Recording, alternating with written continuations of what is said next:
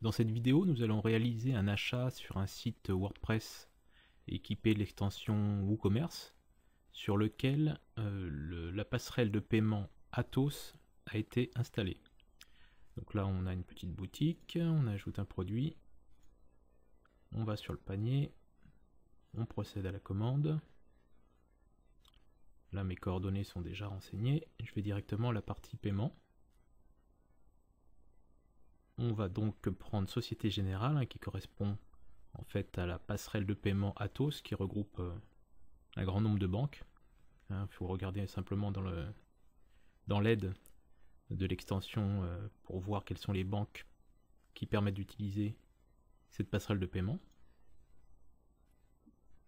Donc le logo que vous voyez en fait Société Générale peut être remplacé par celui que vous souhaitez en fonction de votre banque, ainsi que l'intitulé du titre et la description. On paye. On tombe donc sur une page WooCommerce qui récapitule en fait euh, le paiement. Donc là on a activé le module de débugage. Donc on voit euh, toutes sortes d'informations en fait qui correspondent aux paramètres renseignés. Bien sûr tout ça une fois que vous désactivez le mode de debug n'est pas visible pour l'utilisateur, lui, il verra simplement cette phrase. Merci pour votre commande, veuillez cliquer sur l'icône de votre carte bancaire pour réaliser le paiement auprès de notre banque. Et il aura donc le choix euh, des cartes euh, de crédit que vous mettez à disposition qui sont paramétrables dans le back-office. Je choisis la Mastercard.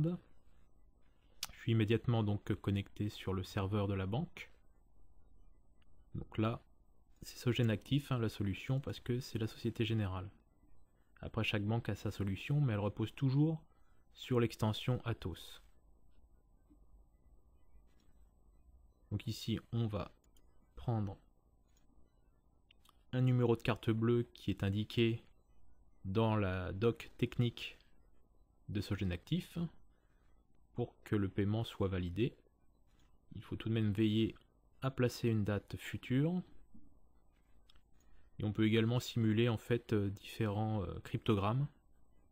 Donc là j'en prends un qui va fonctionner. Je clique sur valider. Donc la transaction a bien été enregistrée. On propose de retourner à la boutique. Donc avant cela, on va aller voir d'une part dans le tableau de bord ce qui s'est passé. Donc là on a une commande qui est en cours. Donc en cours, c'est l'étape après le paiement. Hein. Donc ça veut dire que le site WordPress a bien reçu l'information comme quoi le paiement avait été accepté.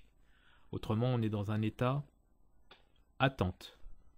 Tant que le paiement n'est pas validé, l'état reste à attente et il passe à en cours lorsqu'un paiement carte bancaire est validé. Je vais sur la liste des commandes. Je vais avoir le détail de la commande et je vais descendre sur les notes de la commande. Donc on voit que a priori il y a une note concernant le client qui a été envoyé, indiquant que le paiement CB a été confirmé. Là, vu que le déstockage était activé, ça indique que les articles ont été sortis du stock. Et donc il y a aussi le changement d'état qui passe de attente à en cours. Je vais maintenant vérifier les emails. Je relève le courrier.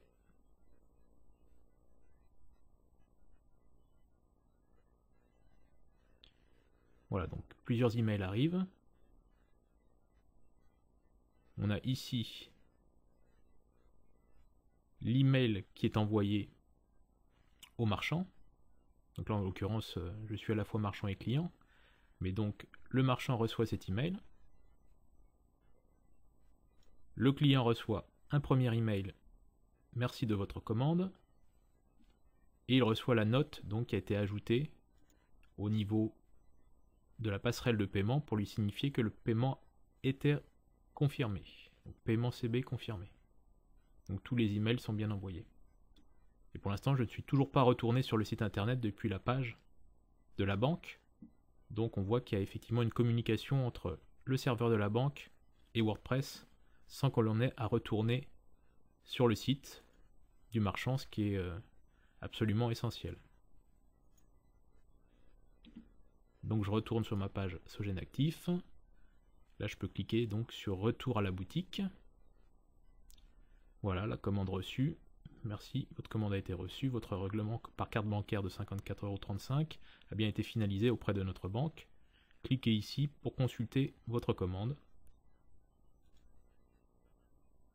Voilà, donc on retombe sur la page en fait euh, voir commande de WooCommerce sur lequel on retrouve le message paiement CB confirmé ainsi que le détail de la commande.